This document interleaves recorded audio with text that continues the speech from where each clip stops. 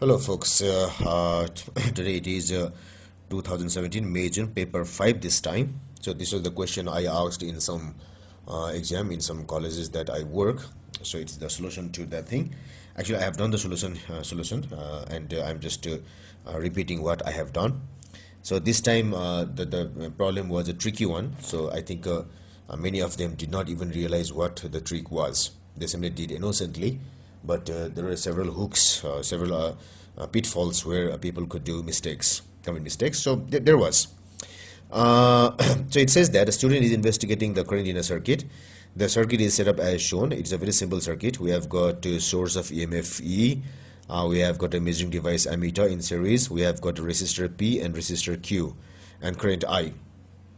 Two resistors P and Q are attached, uh, connected to a power supply of EMF E and a negligible inner resistance so no inner resistance uh, that makes things easier. The current I is measured. The resistance of uh, resistor P is P. P uh, the experiment is for different values of P so vary P. It is such that, that uh, I and P are related by the equation E equal to I whole P plus Q. So it's a, a normal formula because uh, EMF is equal to total current uh, into total resistance. Where Q is the resistor resistance of resistor Q Number A. A graph is plotted of 1 by i on the y-axis against p on the x-axis. So we have to plot p in the x-axis and 1 by i in the y-axis. Determine expressions for the gradient and the y-intercept. So the equation is E equal to I, uh, P plus Q. So I need 1 by I as Y. So uh, we shift this I over here. It goes to denominator and becomes 1 by I. Then uh, we have, um, it goes here. So P plus Q by E then we separated this thing p by e plus q by e. Now uh, we have p on the x-axis so that's why we have to separate e that's why. 1 by e equal to 1 by e separated p plus q by e. So p is x 1 by i is y. So the uh, term in front of p will be the gradient m. So m equal to 1 by e 1 by e. And the remaining after plus is uh, c intercept which is q by e. So that scores the initial one mark. A very good start to your works. Then then I have uh, the table uh, portion here.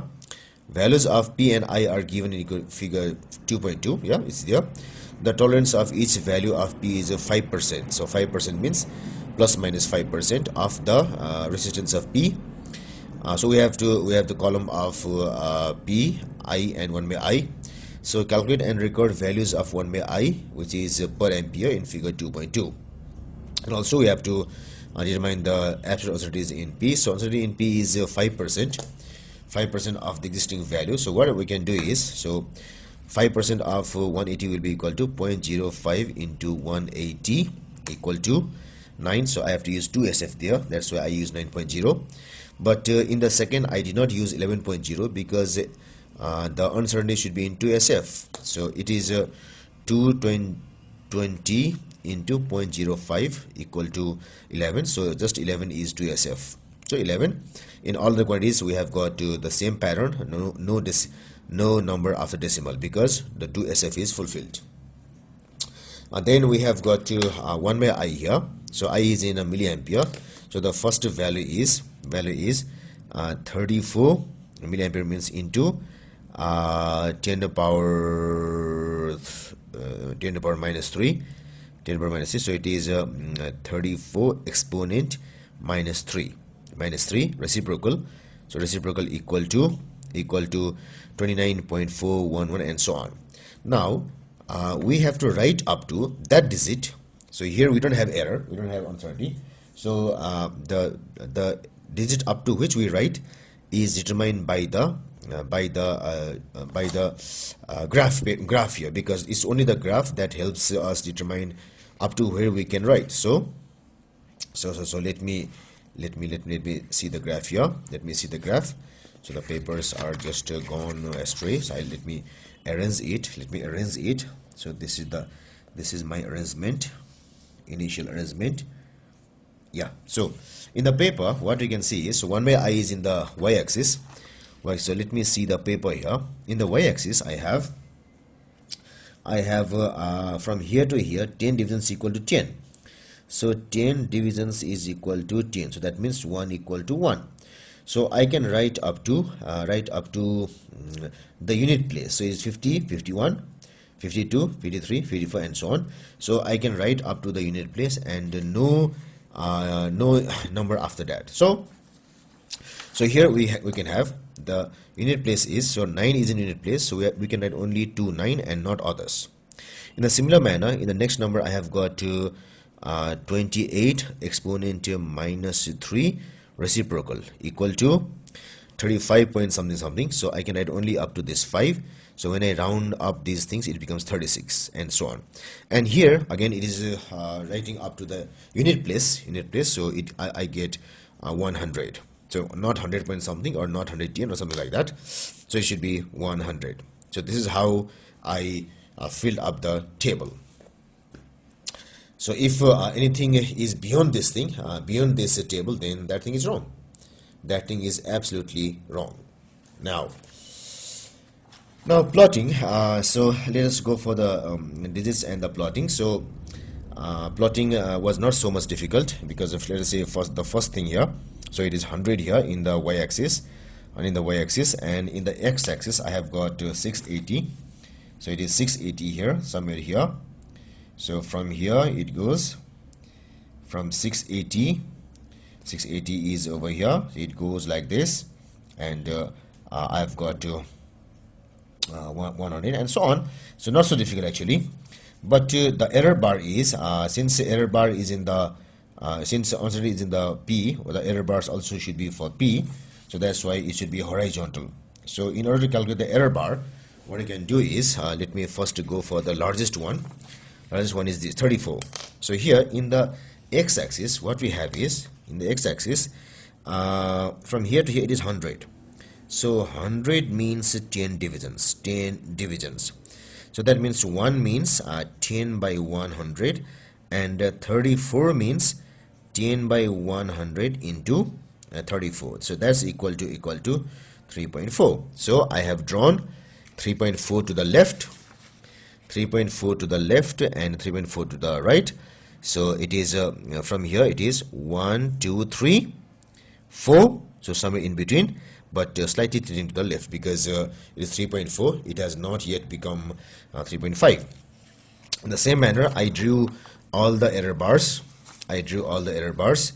Uh, then I drew the best fit then I drew the worst fit and regarding worst fit this time it is very tricky. This time it is very very tricky.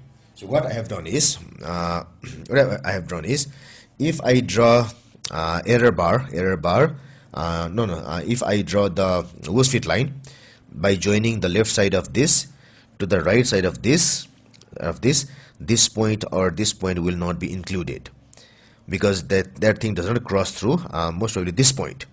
So what I've done is I have uh, tried to uh, touch the edge of this thing. Not this but this. So it has gone slightly inside and if I do this every of them cross. Uh, in other words I, I could have done uh, this uh, point to this point also. So if I do so again several points they do not connect.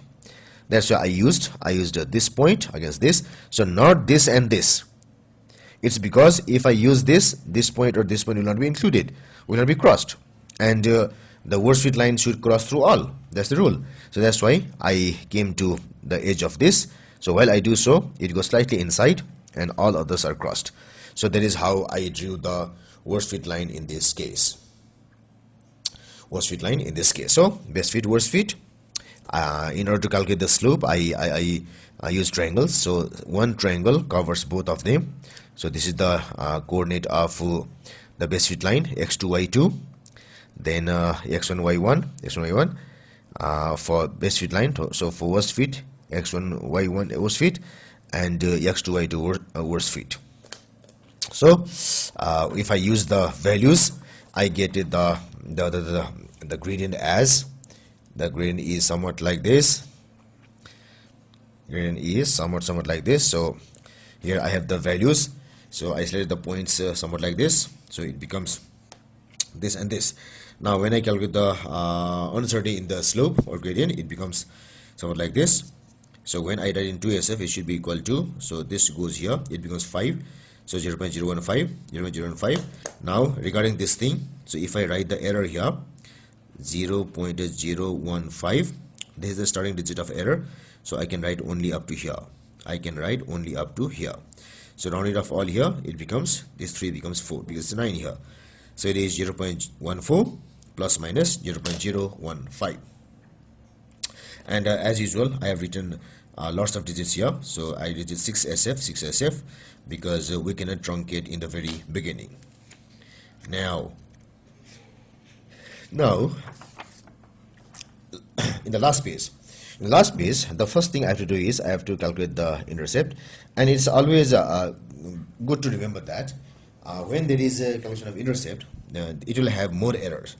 It will have more error or more uncertainty. So it's you have to be prepared mentally for this thing. So the, the more you are prepared the more it will be better for everybody so for baseline I choose this point here. So I have written here uh, 461 for y-intercept and uh, 462 for y-intercept so I used uh, the points to calculate the C best, intercept best and intercept worst. So I used the corresponding values for each of them.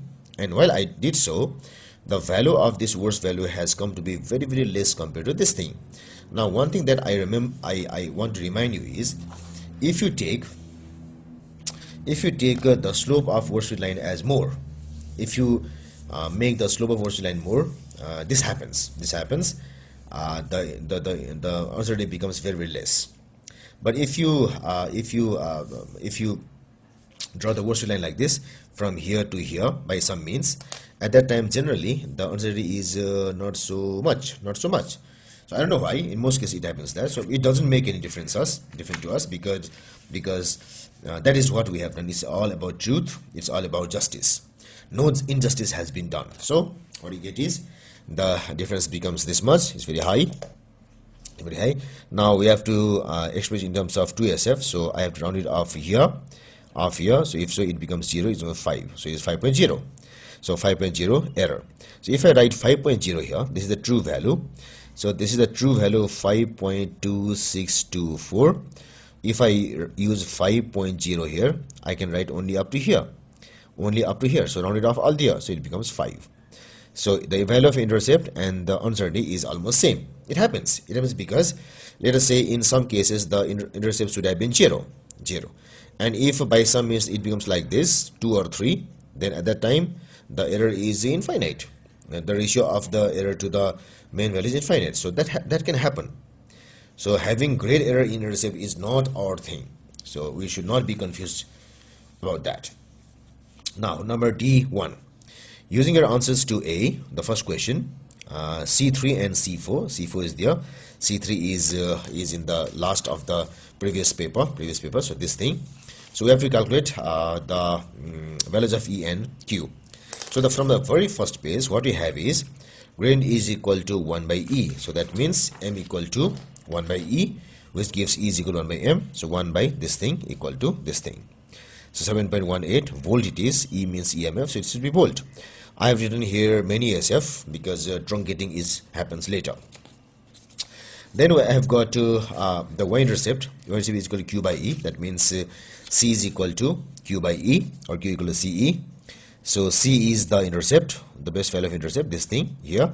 And E is the uh, EMF or, or, the value uh, we just found here it was 37.77 so here what happens is uh, since uh, Q has been uh, stated as the resistance uh, it should be it should be in terms of ohms in terms of ohms.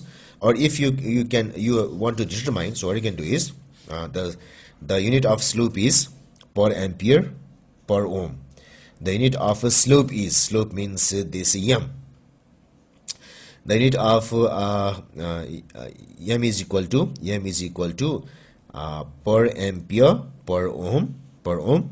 And the unit of intercept is intercept is so the intercept is uh, is is is a piece of this 1 by i. So it is ampere minus 1 unit of intercept c is equal to ampere minus 1 minus 1 then i have got this uh, volt here. So volt here. So this is q is equal to ce equal to ampere to minus 1 into volt. So it means a volt by ampere and that becomes ohm. So ohm uh, if you know what uh, uh, what q is it gives us ohm. And if you do not even know we can use a graph and several things to find its unit. Now now uh, the last thing uh, determine the percentage uncertainty in e and q. So percent uncertainty is equal to delta e by e into 100 so e equal to 1 by m. So that's why delta e by e becomes delta m by m into 100 so delta m is uh, this thing which i use from here. I use full value here. Full value of the uncertainty. This thing delta e delta e. Then i've got uh, e uh, or m m let's say. Full value here. So it becomes uh, uh, 10.651 percentage so i have to round it off to 2 sf so this becomes all of them uh, round off here it becomes 11 then uh, point in q is equal to q is equal to delta q by q into 100 it becomes so since q equal to ce it is equal to delta c by c uh, into 100 plus delta e by e so it's the error formula. So this thing has already been determined which is equal to 10.6517 percentage uh, percentage from here. And this thing is uh, delta c delta c is here here. So this is the true value 4.9572 then i have got uh, c c is uh, 5.2624 2624 so it becomes uh, overall it becomes 104.85 percentage so as i said as i said having uh, having a large uh, error in intercept is not odd. And when it adds to something else the error even adds up. So that's why 104.85 is not odd thing. Not odd thing. So let's be confident uh, in some cases that happens. And here it is the case uh, the case so uh, when you add this this becomes so when I have to write only up to here. So round it off all things over here. So if I round it off uh, round it to all those things so I made a mistake here. Because this is 485 so that's it should be 0 it should be 0 so this thing should be should be should be 0 so it is 100 percentage. So I I nearly made a very drastic mistake here. So since 485 it should come here round off here. So it should be it should come down to 0 rather than 1 so this is 100 percentage. So uh, though the error is uh, very high in the intercept intercept thing uh, it's not uh, it's not a mistake. It is correct because this happens. And if I do like this uh, I have done it in some another way also another way also. Uh, I actually uh, it made this thing made me work very hard. So see you can see here I tried this I tried that. See the amount of work I have put so if I try this one this one as the worst fit the uh, this error is very, very less around 30 percentage 33 percentage. So it's okay with me because uh, I want to uh, make people aware about the uh, maximum error that can happen that happens so that uh, uh, during exams even if they make some mistakes they can they can be confident about their own approach. So if it is correct you can work confidently. And this this thing I dealt with this thing even with uh, this this percentage mistakes because I want to instill that confidence in in people. Thank you.